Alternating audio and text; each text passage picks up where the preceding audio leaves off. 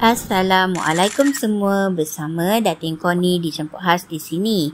Welcome to Kokoci TV. Hari ini Datin Koni nak gosip-gosip sikit pasal terbongkar gaji yang Taizo minta pada DJ Lin tapi Suria FM tak setuju.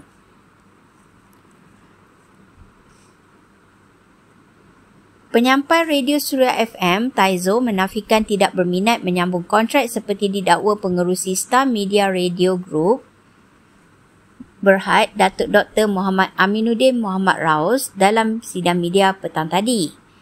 Katanya, kebiasaannya pihak pengurusan akan bertanya pada saat akhir iaitu seminggu sebelum kontrak tamat. Namun katanya, dia terkejut pihak pengurusan Suria FM buat kesimpulannya tidak berminat hanya kerana tidak memaklumkan dua bulan sebelum kontrak tamat.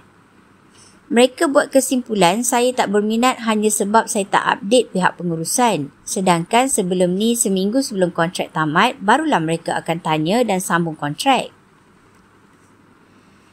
Tapi lain pula cerita kali ni. Sebelum ni kontrak Sharifah Syaira diperbaharui 6 bulan sekali.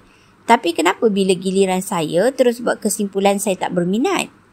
Saya mengakui ada minta naikkan gaji RM500 walaupun pihak pengurusan tak bersetuju.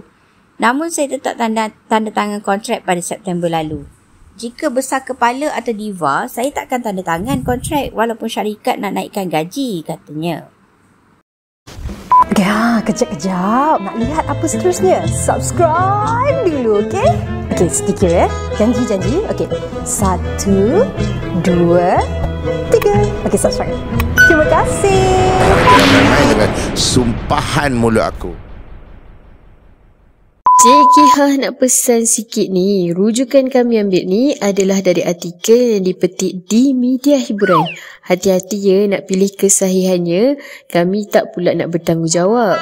Cik Kihah suggest anggap sajalah semua ni sebagai hiburan dan bukan sebagai satu gosip yang boleh disampaikan di tingkap jiran-jiran.